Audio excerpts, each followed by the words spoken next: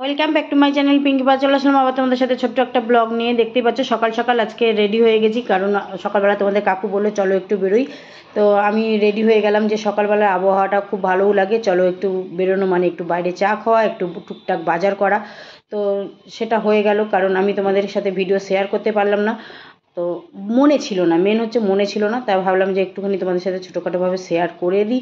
তো দেখতেই পাচ্ছ মিষ্টি নিয়ে নিয়েছি, প্রথমেই কিন্তু মিষ্টির দোকানে চলে গেছে, কারণ আমার প্রিয় মিষ্টি মিষ্টি আমি খেতে খুব ভালোবাসি, তাই জন্য প্রথমে চা খাওয়ার আগে আমাকে নিয়ে গেছে মিষ্টির দোকানে, বাবা পঞ্চাননে।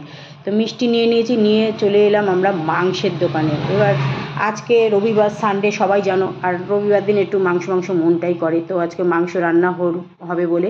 তো মাংস নিয়ে নিয়েছি, দেখছ খাসির মাংস। তো এইবার নিতে যাচ্ছিল মাছ। আর সত্যি কথা বলতে কি, এখন আর মাছ একঘেয়া হয়ে গেছে, ভালো লাগে না। এবার যদিও কালকে আমরা খাব না, কালকে থাকব না, থাকবে আমার ননদ আমার বাড়িতে, তো তাই জন্য ওরা মাছ থেকে মাংস খেতেই ভালোবাসে। তো আজকে তো খাসি রান্নাই হচ্ছে, আর তারপরে আমি বললাম যে মাছ নিতে হবে না, চলো মাংসই একটু মুরগির মাংস নিয়ে নাও। ওদের একটু মাংসের ঝোল হলেই ভাত। ওদের যথেষ্ট। তো নিয়ে আমরা চলে এসেছি আমাদের গ্যারেজে দেখতে পাচ্ছ এখানে আমাদের গাড়িটা কিন্তু রাখা হয়, চার চাকা গাড়িটা। তো এখন গাড়িটা বার করে নেবে, কারণ গাড়িটা কদিন ধরে আমি নিয়ে এদিক ওদিক গেছি, খুব নোংরা হয়েছে গাড়িটা গাড়িটা ধোবে। আর গাড়িটা কিন্তু মানে ধোয় তোমাদের কাকুই, দু ঘণ্টা ধরে বাড়ির সামনে নিয়ে এসে গাড়িটাকে মনের মতো করে ধুয়ে পরিষ্কার করে দেয়, শুধু তোমাদের কাকুই। কোনো দোকানে দেওয়া হয় না, কোনো গ্যারেজে দেওয়া হয় না। তো হ্যাঁ যখন সময় থাকে না তখন হয়তো গ্যারেজে যায়, যখন সময় থাকে তখন দেয় না। তখন নিজেই পরিষ্কার করে। তো দেখতে পাচ্ছ এখন আমাকে বলল গেটটা দিয়ে দিতে। এখন আমি এই যে গেটটা দিতে চলে এলাম। তো চলে এসেছি এখন আমরা বাজারের দিক দিয়ে। তো বাজারের দিকে চলে এসেছি। কিছু টুকিটাকি বাজার করার আছে। আর গরমও লাগছে, প্রচণ্ড। সকালবেলা এত গরম লাগছে, ভেবে মানে গাড়িতে বসে আছি, তবু দেখো গরমে আমি ঘেমে গেছি। এসি কিন্তু চলছে। যাই হোক, হয়ে গেল। টুকিটাকি নেওয়া, এবার যাচ্ছি বাড়ির সামনে থেকে মানে দিদির বাড়ি, বড়দির বাড়ির সামনে। এই যে গলিটা দেখছ, এই গলিটাতে, ওই দেখো বড়দির বাড়ি। বড়দির বাড়ির সামনে থেকে সকাল সকাল আমরা দুজনে মিলে গাড়ি নিয়ে বেরিয়ে গেলাম। কারণ গাড়িটা নিয়ে এসে বাড়িতে পয় পরিষ্কার করে এই গাড়িটা নিয়েই আবার বিকেলবেলায় যেতে হবে রিমির কাছে মানে আমার ছোটো বোনের বাড়িতে। তো আজকে আমরা যাব বলেছি ছোটো বোনের বাড়িতে, তাই জন্য সব রেডি করে রেখে গেছি। কারণ খুব চিন্তা হয় আমার স্যান্ডি গল্লিকে নিয়ে, এদেরকে খাইয়ে দিতে হয় তো, আর আমি কোথাও গিয়ে যেন শান্তি পাই না। তো চলে এসেছি, দেখো, সব রকম মিষ্টি তোমাদের কাকু জনে জনে করে নিয়ে এসছে।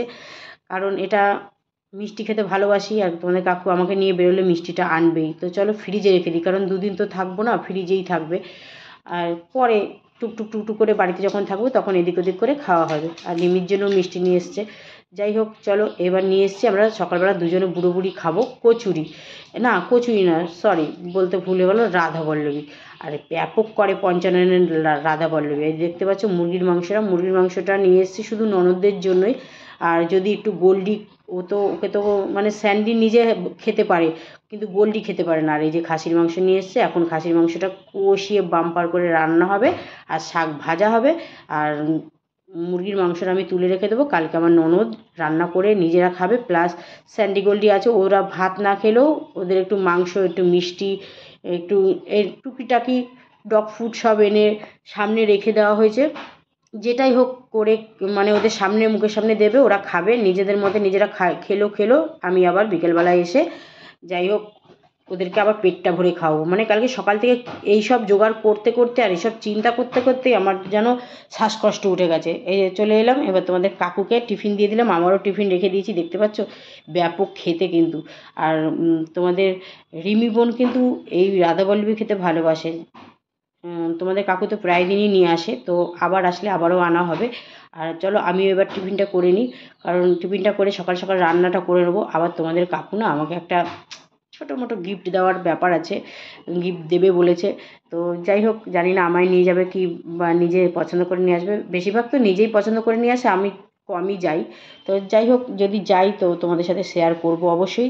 তো চলো টিফিনটা খেয়ে রান্নার দিকে যাওয়া যাক। আর যদিও রবিবার রান্নাটা তোমাদের কাকুই করবে, আমি করব না। আর তো দেখতে পাচ্ছ মন খারাপ হয়ে পড়ে আছে, বুঝতে পেরে গেছে আমরা যাব।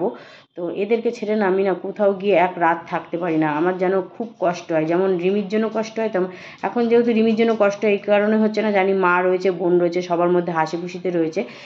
কিন্তু এদের কথা ভাবছি, এরা তো খেতে পারে না, এরা যেমন তেমনভাবে থেকে যাবে টয়লেট পটি সব, ধরো, এরা করাতে পারবে, কিন্তু খাওয়াতে কেউ পারে না। ওই জন্য খাওয়াটা নানা রকম জিনিস এদের জন্য রেডি করে রেখে গেল তোমাদের কাকু। আর বোনের বাড়িতে যেতেই হবে, বারবার ফোন করছে। আর যেহেতু কাজ, আমরা কাজের টাইমে গিয়ে পৌঁছাতে পারছি না, কাজ শেষ হবে, তারপরে হয়তো গিয়ে পৌঁছাতে পারব। কারণ এদেরকে এক পেট আমি রাত্রে খাইয়ে রেখে তারপরে আমি বেরোবো। যাই হোক, চলো রান্নাটাও তোমাদের কাকু বসিয়ে দিয়েছে সকাল সকাল আজকে। আর রান্না করতে করতে আমার সাথে একটু ইয়ার্কিও মেরে নিল। এইটাই খুনসুটি, এইসবই আর দেখতে পাচ্ছ, বাবুও চলে এসছে, বাবা রান্না করছে, এখানে বাবু চলে এসছে, বাবু একটু আদর খেয়ে নিল বাবার কাছে। আর ওদেরকে ছেড়ে যাওয়ার কথা মনে করলেই না খুব কষ্ট হয়। তোমাদের কাকুরও যেমন কষ্ট হয়, আমারও তেমন কষ্ট হয়। যাই, জানি না এই কষ্টটা কতদিন রাখতে পারব, কারণ দেখো, মানুষই, মানুষেরই গ্যারান্টি দেওয়া যায় না, এ তো পশু পাখি। যাই হোক, ভাবলেই যেন মাথা ঘুরে যায়। তো, ভিডিওটা কেমন লাগল? এই যে গাড়ি চলে এসছে বাড়ির সামনে। এখন দু ঘণ্টা লাগবে তোমাদের এই গাড়িটা তোমাদের কাকুর ধুতে। আর এই গাড়িটা ধুয়ে টুয়ে তারপরে আমরা খেয়ে দিয়ে একটু এদিক ওদিক করে তারপরে হয়তো বোনের বাড়ির দিকে রওনা দেবো। সবটাই তোমাদের সাথে ছোটোখাটো করে শেয়ার করব। ব্লগটা কেমন লাগল? ছোট্ট একটা ব্লগ নিয়ে চলে আসলাম।